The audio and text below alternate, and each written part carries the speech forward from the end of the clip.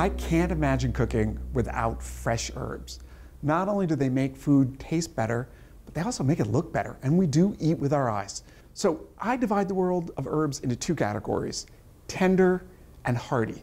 Now, the tender ones have more tender stems. They also have more delicate flavor. So, in addition to the chives and the dill and the tarragon here on the table, that includes parsley, cilantro, mint. They have a sort of more gentle flavor, not mild, but gentle. And these herbs are also interchangeable with each other in terms of quantity. You know, if a recipe calls for two tablespoons of cilantro, you can use two tablespoons of parsley. Flavor is totally different, but the sort of level of intensity is similar. On this side, we've got the hardy herbs. They have woodier stems. It's the sage, the oregano, the thyme, the rosemary, much more potent flavors.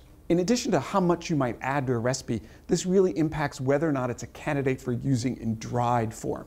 Now, while I use fresh herbs probably 98% of the time, I do occasionally use dried herbs. The hardy herbs, the sage and the oregano and the thyme and the rosemary, they're candidates for drying. Their essential oils will survive the drying process. The big thing here is to use them early in a recipe. So you wouldn't want to sprinkle dried sage over a plate of pasta, but you can add it to a chili, to a sauce, to a soup, to a stew early in the process so that the herb has time to hydrate, soften, and flavor the dish. Let's turn back to fresh herbs because honestly, that is really what I'm most passionate about.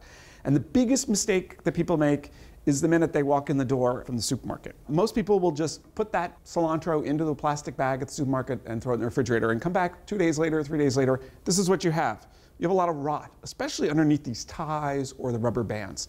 So when I get home, what I do is take a little care. So this parsley, it's actually been in the fridge for a week and it looks beautiful. I removed the rubber bands, I washed and dried it, and then I put it in paper towels like this parsley here and slid it inside a Ziploc bag. Now, you don't need to seal the Ziploc bag. I'm actually going to sort of leave it open because if any moisture that's left here will continue to evaporate by leaving the bag open. Fresh herbs are expensive, so really take the time to protect them when you get home, and that way they're going to be ready when you need them.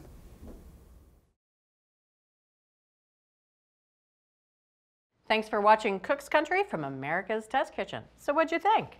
Leave a comment and let us know which recipes you're excited to make, or just say hi. Now you can find links to today's recipes and reviews in the video description. And don't forget to subscribe to our channel. See you later.